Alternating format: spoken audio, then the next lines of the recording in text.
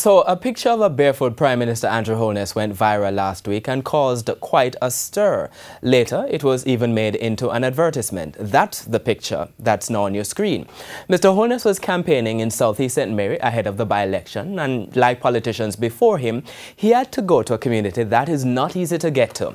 There's no proper road leading to Chesterfield St. Mary. Then you get to a river, and there's no bridge. The people have to wade through that river to get in and out of the community, then walk through dirt tracks to get to their houses.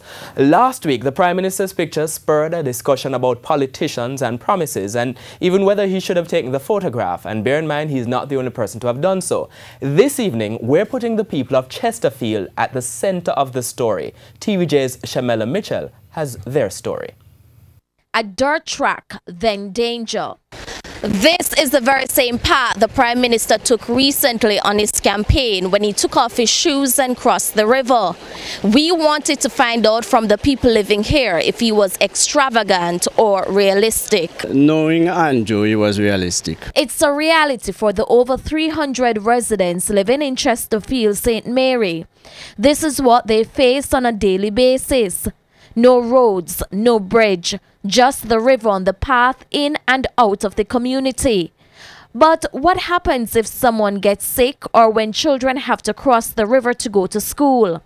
Children them back here, crossing have no alternative. The situation can get worse, especially when there's a heavy downpour and the river is in spate. Angela Davis says this is seen happen in the hurricane season, which is from June to November of each year. How many times is up here, so? The water catch, we have, we have we close in a scandal bag like this. Sometimes they are marooned for days too. Who dead that side have to stay that side. And who they up on the road have to stay up on the road. And children going to school are also affected. Many times they cannot come out go to school. None of them, sometimes all for the whole week, nobody, no children can come out because the river. The river can be deadly as well.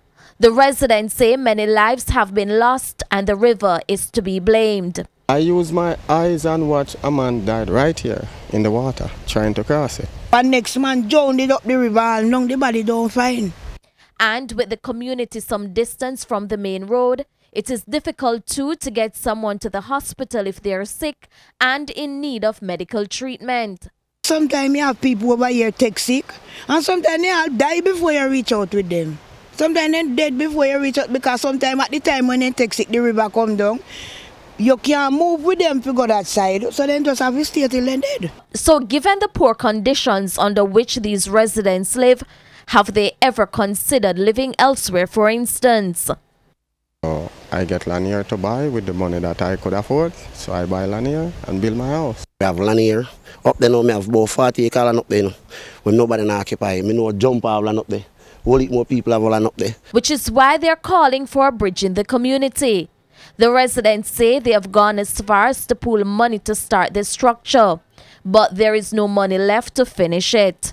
They say if they get the bridge, not only will they be able to get easier access, but the area can be used for other developments. Over the years, there's a whole city by itself locked down now. When the government and the prime minister never look on. You have the, the, uh, the, the church locked down up there, a school used to up there. So right now, if we get driving road go up there, we can build a hospital, we can build stadium. The residents say they are holding Prime Minister Andrew Holness to his promises to help them get a bridge. Me even said to him, say, like how you roll up your trousers foot now and cross the water and you wet up, if you will come back. He said, yes, you have to come back and you have to sit it, that's we, we finish that.